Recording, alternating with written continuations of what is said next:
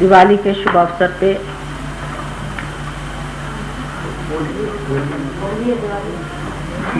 हाँ होली मैंने यही सोचा कुछ गड़बड़ कर दे। लेकिन कल दिवाली की बात कही थी ना वही ख्याल बना। कि होली के शुभ अवसर पर आज दिवाली मनाई जाएगी।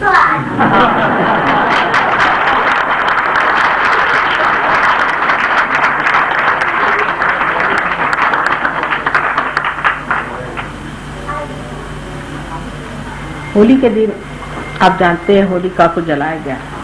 अग्नि का। बड़ा भारी दान है, कार्य है, क्योंकि अग्नि देवता ने होलिका को वरदान दिया था कि किसी भी हालत में तुम जल नहीं सकते। और चाहे किसी भी तरह से मृत्यु आ जाए तो तुम जल नहीं सकते। और वरदान दे करके फिर बहुत पछता है। क्योंकि प्रहलाद को लेकर वो गोद में बैठे। और अग्नि देवता के सामने प्रश्न पड़ा, धर्म का प्रश्न, कि मैंने इनको वचन दे दिया मैं तुमको जलाऊँगा नहीं, और इस वचन को मैं अब कैसे भंग करूँ? और प्रहलाद तो स्वयं साक्षात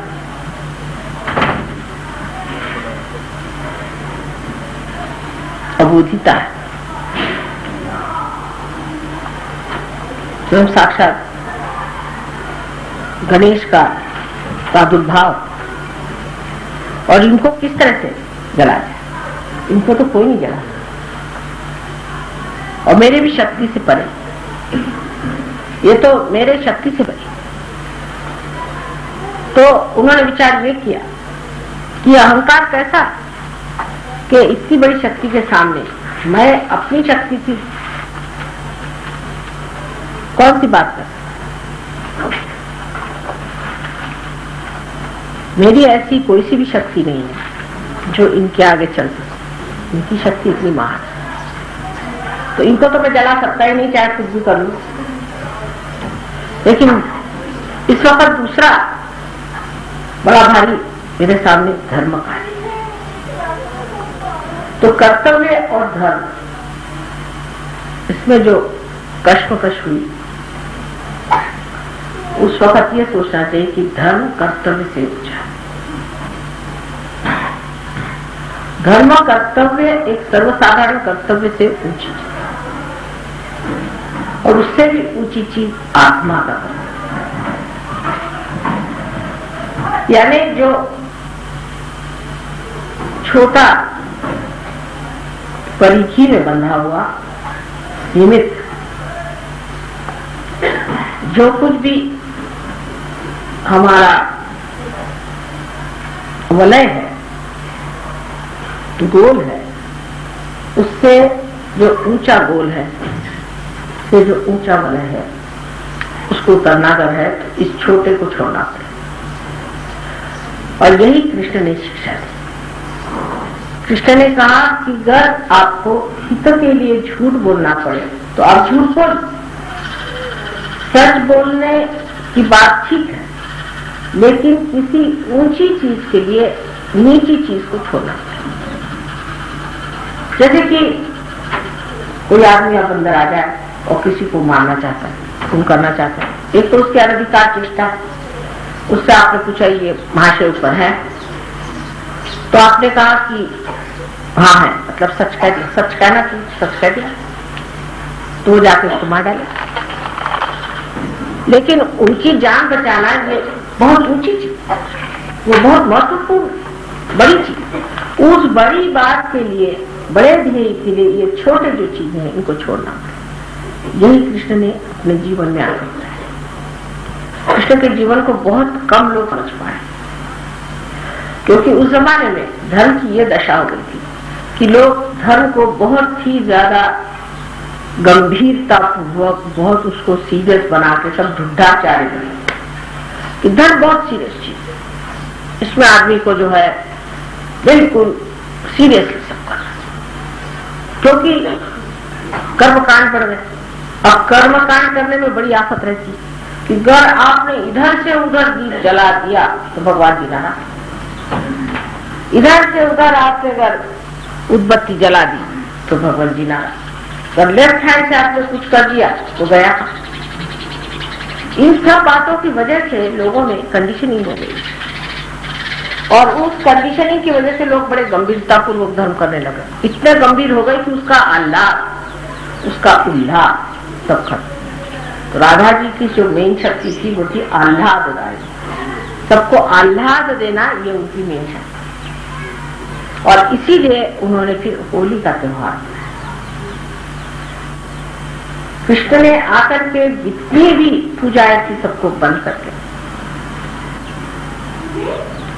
और कहा कि अब पूजा उजा मत करो तुम। उस आत्मा की ओर बढ़ो, इसको तुम्हें पाने और छोटी छोटी चीज़ों में मत खो शुद्ध चीज़ों में नहीं खोना।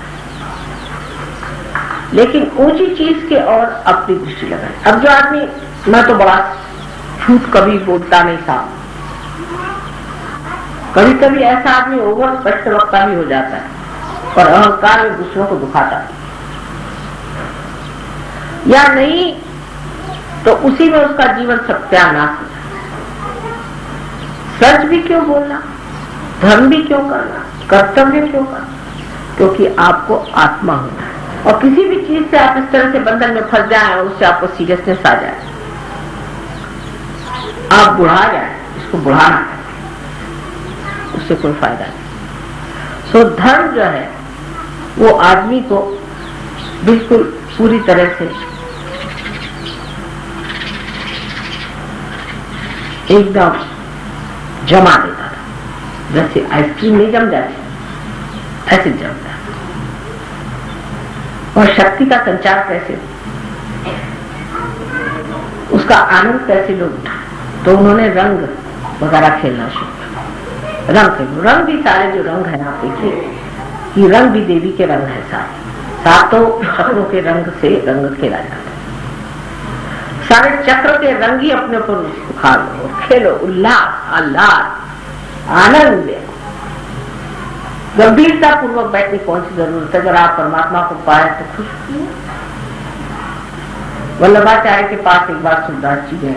और उनसे अपना रोना, बेचारे वो पार नहीं थे तो रोते रहते तो रोना शुरू करा। तो वल्लभाचार्य तो साक्षात श्री कृष्ण ही कह अच्छा अच्छा बताते तो उनसे रहा नहीं गया। तो उन्होंने कहा, काहे गिगियावत हो? समझ में आया कि गिगियाते क्यों? तो इसके लिए गिगियाने के लिए और कहीं शब्द नहीं मिलेगा आपको। कि हर समय ये रोने की क्या ज़रूरत है? परमात्मा के प्रेम में आदमी आनंद विभोर हो जाता है। लेकिन ये अंदर से आने वाली एक आह्लाददायी शक्ति है जिससे होना चाहिए। न कि ये कि बहुत से लोग आजकल ढोलकी लेकर के और बजाते फिरते हरे रामा, हरे कृष्णा, उस तरह की चीज़ नहीं। ये उसकी कॉपी है जो मैंने कल कहा कि रियलिटी और कॉन्सेप्ट में बहुत अंतर जो असलियत है, उसमें आदमी विभोर होकर के खुश होता उसमें कोई अश्लीलता नहीं, कोई गंदगी नहीं है। उसमें कोई जानबूझ करके नाटककारी नहीं। अंदर ही से आदमी खुश होकर के आह्लाद और उल्लास को महसूस करता है। और वही चीज़ जो है, बाद में अनेक आघातों से भी दुखदायी हो गई। सब धर्मों में इसी प्रकार होते हैं। जैसे कि मुसलमानों में आपने देखा है कि वो लोग मारते हैं अपने। खाए हुसैन, हम न हुए। सुना होगा। मैंने रोने वाला धर्म, ये धर्म नहीं जब धर्म में रोना है तो ऐसे धर्म में कहा खाने का? ऐसे तो रोना ही होता है। सो दुख पाने वाला और दुख देने वाला धर्म हो नहीं सकता। लेकिन ये सब धर्मों में ऐसी बातें आ गई। हिंदू धर्म में भी आ गई। मैंने ये कि जो आदमी बिल्कुल मरगिल्ला वही बड़ा भारी साधु संत मानने लगे। देखो मर्गिल्ला होना चाहिए, उसकी हालत ये होनी चाहिए कि उसको एक उद्विग्नता होनी चाहिए। और वो ऐसी दशा में होना चाहिए आधा पागल, आधा अच्छा। कभी भी उठा, डांस करना शुरू कर दिया, या कभी रोने को बैठ गया, दुबला पतला हड्डियाँ, उसके पिछका हुआ मुँह, पचासों उसमें झुर्रियाँ पड़ी हुई। आँखें बिल्कुल बल्ब के जैसे बाहर। तंदुरुस्ती चौपट। और हर तरह की उसके दुर्दशा।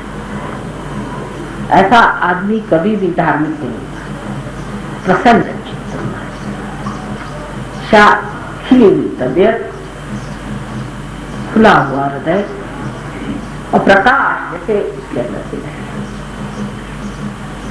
तो होलिका का दहन बाद जैसे मैंने कल कहा, आज से यही तय कर ले, अब होली जो है, ये दिवाली हो जाएगी इसका आनंद जो है, विभोर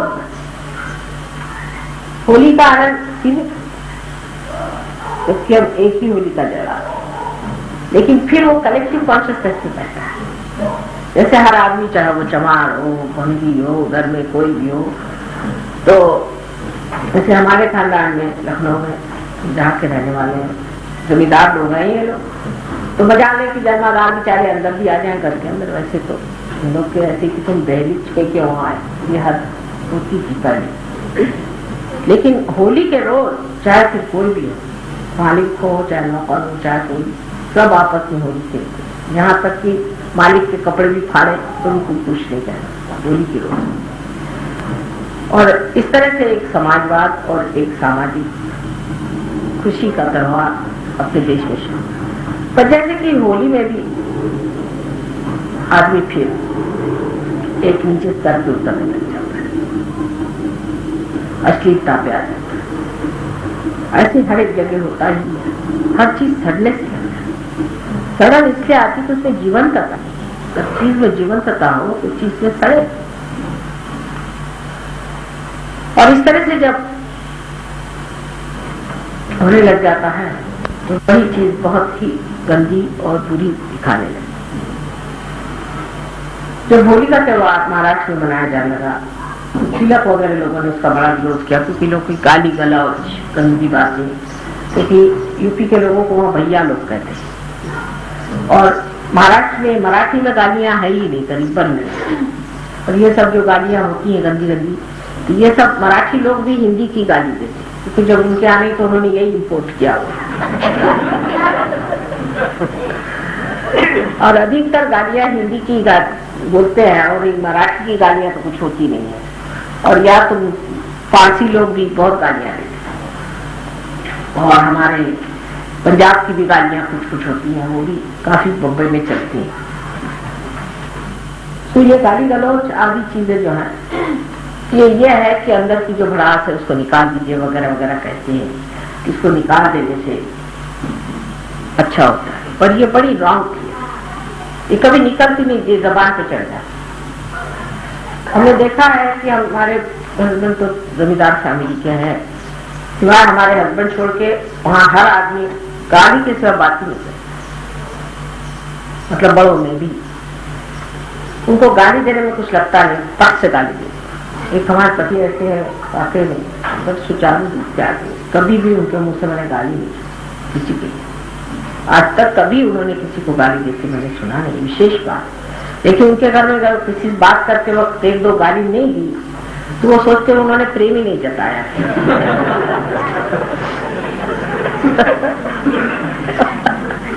वहाँ तरीका ये है कि दोस्त को मिलेंगे तो पचास पहले गाली देंगे, उसके बाद फिर गले मिलेंगे।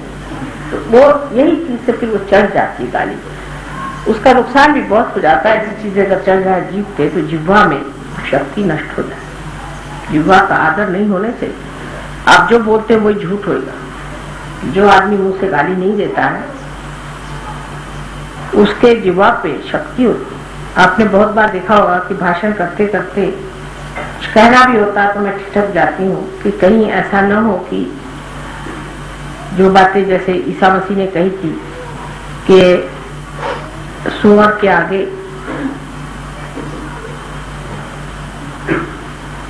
मोती नहीं डालना चाहिए। लेकिन अंग्रेज़ी में सुअर शब्द जो है, ये गाली है और बहुत बुरी गाली है और मराठी में नहीं पर तो भी थोड़ी सी है, पर ज़्यादा नहीं।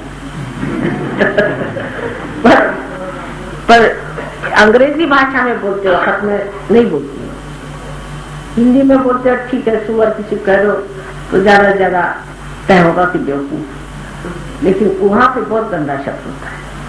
इस तरह से जहाँ जहाँ जिस तरह का व्यवहार है, उसकी मर्यादा रखते हुए आदमी को रहना चाहिए, नहीं तो जीवा जो है नष्ट हो जाती है। जीवा की शक्ति जो सरस्वती की है, वो नष्ट हो जाती है।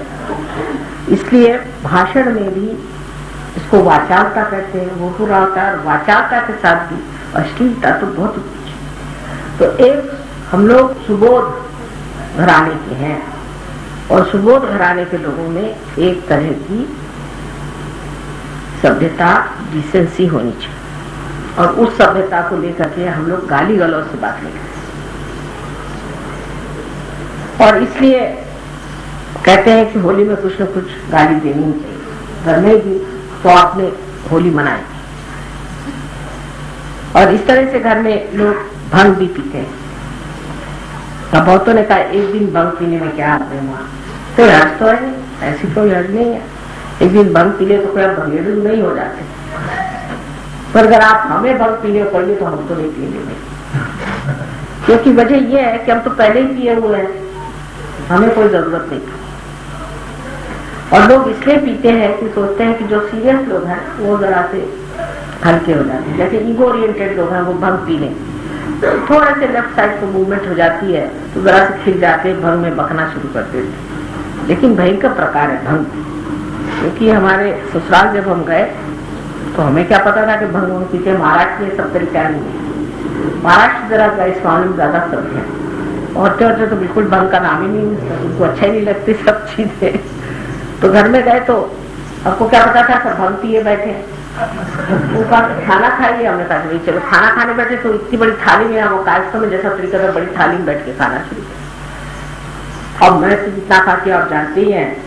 चलो, उस दिन त्योहार का थोड़ा ज़्यादा ही खा लिया अब वो खाते चली गई, खाते चली क्या हो रहा है? कुछ समझ और हँसते जाओ खाते जाओ तो हमारी जिठानी जी विधवा थी तो विधवा लोग नहीं भंगती विधवाओं के लिए सब मना।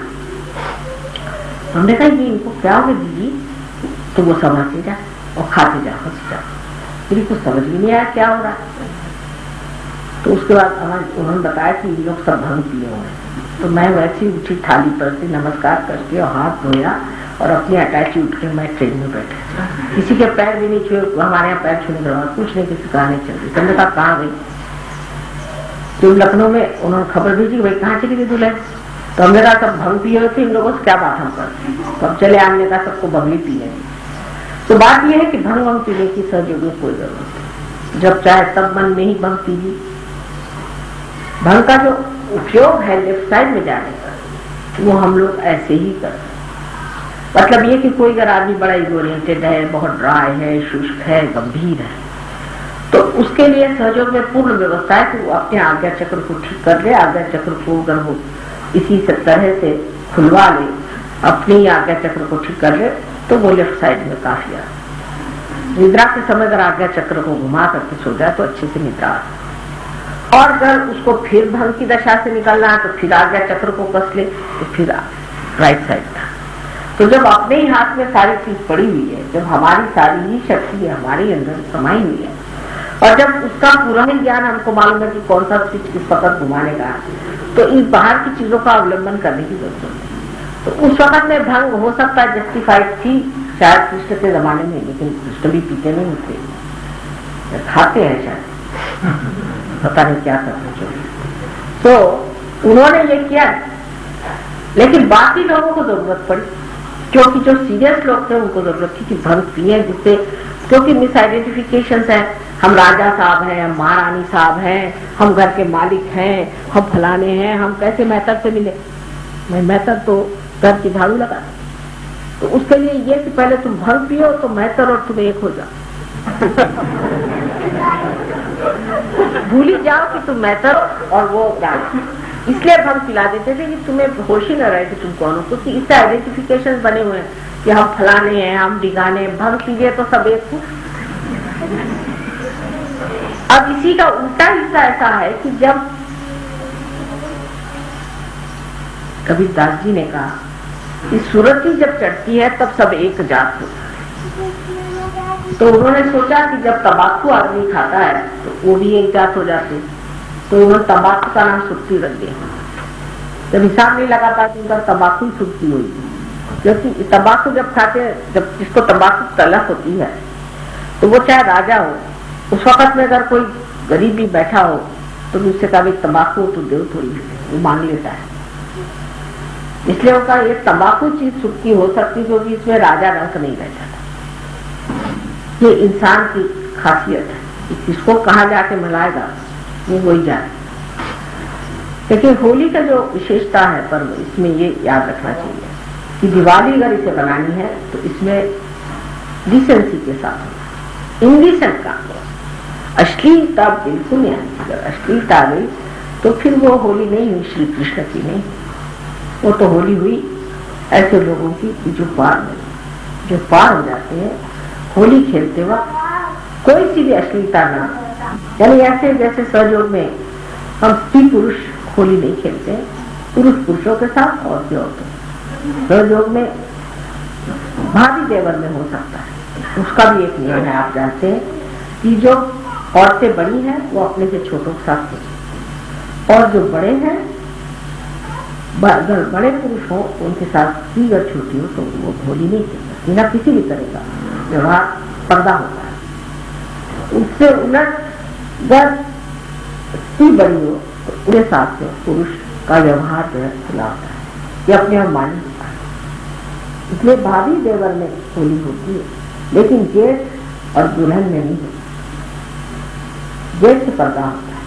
और ये कायदा आपको आश्चर्य होगा, सारे हिंदुस्तान में है और वो अपने आप ही चलता है। हम लोगों के अंदर अंतर्हित है, हमारे संस्थाओं में बैठा है।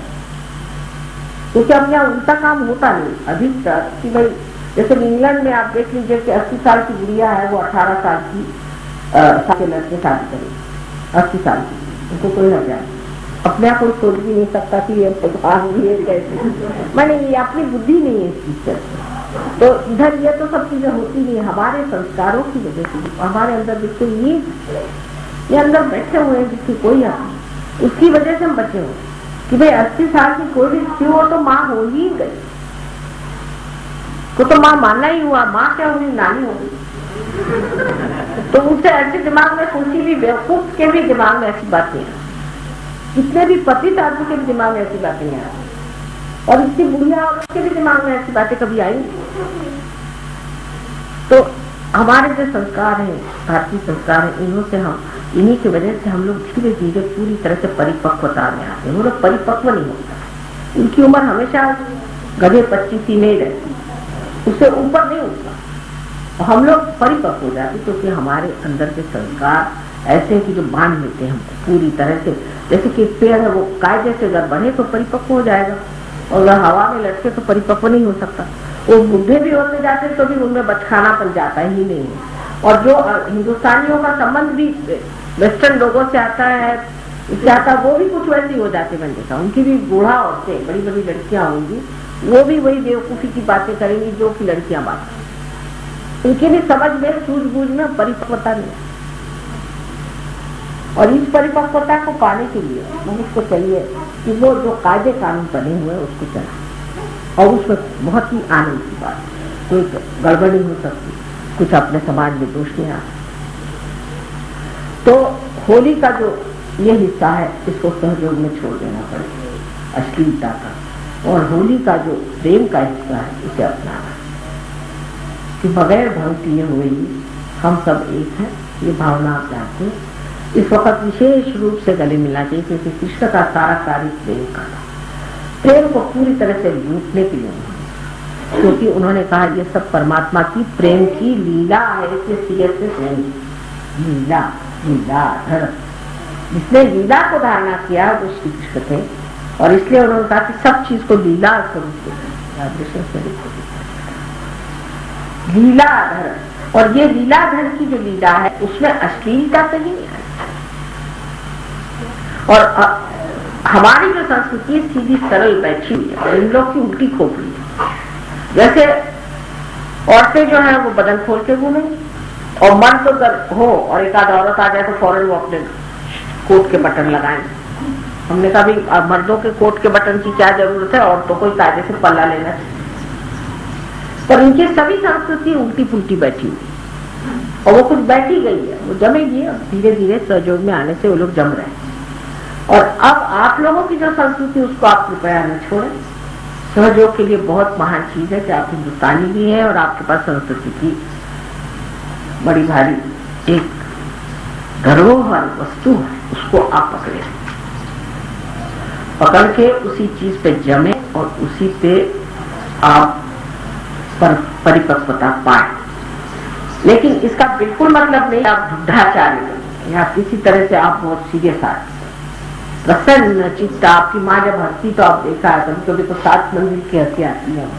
सब लोग हैरान होते हैं कि गुरु लोग तो कभी मुस्कुराते भी नहीं है, माँ की तरह हंसती रहती है और उनके मुँह पर मुस्कुराहट तो कभी जाती है मैं तो एक मिनट से ज़्यादा सीरियस नहीं हो सकती, जब सीरियस भी होती तब भी नाटक रहता है।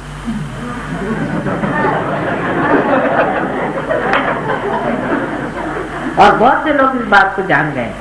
इसलिए वो भी नहीं सीरियसली लेते, ये गलत बात। तो कृष्ण ने ये चाहा कि जो कुछ भी गलत सलत हो गया है, राम के जीवन की वजह से राम का जीवन बहुत आदर्श, बहुत ऊँचा, बहुत गंभीर। तो उन्होंने देखा कि अब ये सब लोग राम बने जा रहे तो उन्होंने कहा, ऐसी बात नहीं, वो तो राम का कार्य, राम करके चले गए। अब तो लीला का समय लीलामय समय चाहिए और इसीलिए उन्होंने सारे संसार को लीला का एक पाठ पढ़ा। और लीला का कभी भी अर्थ अश्लीलता या अपने मर्यादाओं से गिरना अपनी परंपराओं से उतरना या अपनी जो प्राचीन धारणाएँ बहुत सुंदर अभी तक बनी हुई उनको छोड़ना, ये नहीं। हाँ भी आदि जो गंदी चीज़ें उनको छोड़ देना लेकिन जो पवित्रता की भावनाएँ आपस की रिश्तेदारी की है, उसको पूरी तरह से सहयोग में हम लोग मानते हैं और उसको निभाना चाहिए। भाई बहन के रिश्ते। अब कल हमारे भाई साहब आए थे, बस देखा उन्होंने कि हमारे बहन का, उनके आँखों से आँसू बह जा रहे हैं। मैं देख रही थी कि बार बार वो आँसू पूछ वो कुछ और कर तो ये जो पवित्रता की भावना है प्रेम की भावना इसमें आदमी को चाहिए कि सहयोग की दृष्टि से विचार हर सहयोग सहयोग की दृष्टि से जो शोभायमान हो तो माधुर्य को लेते हुए शोभायमान करना कोई सा भी बिहेवियर जो कि अशोभनीय है छोटी छोटी बातों पे बात करना छोटी छोटी बातों में उलझना बेकार में आपस में झगड़े करना, किसी भी चीज़ की मांग करते रहना, हमको ये चाहिए, वो चाहिए, या कोई भी तरह की, इस तरह की बातें करना ओछा ओछा और ऐसे लोग सहयोग नहीं करते। एक बड़प्पन लेकर के, उदारता लेकर के अपने को चाहता सो आज की तो असल में पूजा जो है, वो बिल्कुल मैं थोड़ी सी पूजा करना चाहती हूँ। रिकमेंडेशन इतने हैं कि कोई पूजा की विशेष आवश्यकता नहीं, और मंत्र मंत्र कहने की भी आवश्यकता नहीं। मंत्र भी गांधी में डाल देता है पता नहीं क्यों। तो आज प्रसन्न चित्त होकर के बस दो ही तीन मंत्रों में हम आज का तो करेंगे। लेकिन इतना मैं कहूँगी कि होली को दिवाली बनानी पड़े, और दिवाली को होगी तब सहयोग का इंटीग्रेशन पूरा होगा। दिवाली भी प्रसन्न चित्त होकर के करेंगे। और दिवाली में भी लोग इतना रुपया खर्च करते हैं कि दिवाली के बाद दिवालिया होकर के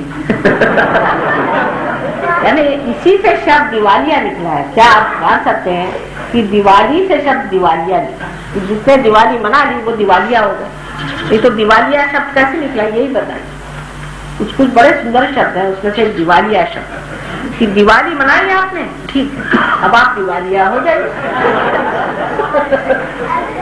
सो हम लोगों को दिवालिया नहीं है। कोई ऐसी चीज़ नहीं करनी चाहिए जो कि मर्यादा से बाहर है। दिवालिया नहीं होता। जितना आपने बुद्धे का है, उतना करिए, उससे आगे आप परमात्मा पर छोड़िए दिवालियापन करने की ज़रूरत है और होली में दीवानगी करने की ज़रूरत है कोई सा भी कार्य ऐसा नहीं करना चाहिए जो इनडिसेंट हो, जिसमें डिकोरम नहीं हो, जिसमें कोई भी सभ्यता नहीं, न्यूनता बेहद तरीके से काम कर छोटी छोटी चीज़ आपके अंदाज़ा है। किसकी मर्यादा? जैसे अब कल आर्टिस्ट लोग बजा रहे हैं। उस वक्त किसी को उठना नहीं चाहिए। किसी भी आर्ट का मान करना है। आपको बहुत बार देखा होगा कि जब कोई आर्टिस्ट बजा तो मैं खुद ज़मीन पर बैठी क्योंकि आप मान, पान किसका करना चाहिए। सहयोगियों को बहुत आना चाहिए, क्योंकि प्रोटोकॉल आर्टिस्ट लोग भी देखिए, पैर पर हमेशा ये ट्रेडिशन है, पैर पे हमेशा शॉल रख करके बजाएँगे, अगर असली आर्टिस्ट लोग क्योंकि हो सकता है श्रोतागढ़ में कोई बैठे हो देव देवता और मेरे पैर में दिखाई दे। अपने देश की इतनी बारीक बारीक चीज़ें हैं कि मैं आपसे क्या ना सुंदर अपने में बना हुआ ना सुंदर परमात्मा का कहना चाहिए कि अंग वस्त्र है कि उसकी गहनता, उसकी बनावट में इतनी काव्य में सारी चीज़, बहुत ही सुंदर काव्य लेकिन हम लोग उसे नहीं समझ पाते और अपने जीवन में नहीं ला पाते तो वो सबसे गंदी हो जाती मान पान अब कल जेठ बैठे हुए थे हमारे रिश्ते में। तो हमें, आप देखिए, पूरी समय, पूरे लेक्चर में वो एक मर्यादा बनी रही कि हमारे जेठ बड़े भाई बैठे हुए हैं, उनके आगे कहाँ तक हम बोल सकते अब तो हम आदि शक्ति हमारे कौन जेठ और हमारे कौन बड़े भाई। लेकिन जब इस रिश्ते में बैठे हुए उसका मान पान पूरी तरह से रखना हर रिश्ते का मान पान रखना आप कुछ भी हो जाओ, सहयोगी भी हो गए तो भी आप मान पान को देंगे ये नहीं कि उसको आप तोड़ दें। और इस तरह से जब आप करेंगे धीरे धीरे आपकी समझ में आ जाएगा कि इसमें बड़ा ही माधुर्य है और बहुत ही मीठी चीज़ है। तो आज के होली के दिन सिर्फ़ होली का दहन का एक मंत्र आप अगर कहें कि होली का मर्दिनी, ये मंत्र से आप लोग, ये लोग मेरा पैर धोएँगे और बच्चों को गणेश की तो स्तुति होनी ही चाहिए, इसलिए गणेश की स्तुति करते हुए बच्चे पैर धो ले और फिर तीन मंत्रों से मेरे पैर धो ले और कोई खास चीज़ करने की ज़रूरत नहीं। और भी धोने होने को और भी लाए क्या सामान तो ठीक है तो दूसरे इसे मंत्रों से आप वो धो लीजिए। और जो होली का केस तो और कोई ज़्यादा करने की ज़रूरत नहीं, क्योंकि फिर वो सीरियसनेस आ जाती क्योंकि कृष्ण ने सब होली सब सब पूजा बंद करा करके और सिर्फ़ होली को रुका बस, छोड़, पूजा कंप्लीट पूजा पूरी बंद कर। और उसी तरह से आज हम लोगों को कृष्ण को याद करते हुए सब पूजाएँ बंद कर देंगे। और सिर्फ़ यही करना चाहिए कि आज उल्लास और आह्लाद का दिन है, सब अपने होली मिलो, क्योंकि आज होली आई है और होली का ही आनंद उठाना है। और इसकी दिवाली बनाने का मतलब जो मैंने आपसे बताया कि इसकी जो सुचारू रूप सभ्यता को देखते हुए अत्यंत कला ऐसी सुंदर रचना नई तरह की होली की हमें करनी चाहिए। और इसीलिए होली को दिवाली बनाना है और दिवाली को होली बनाना आप सबको मेरा अनंत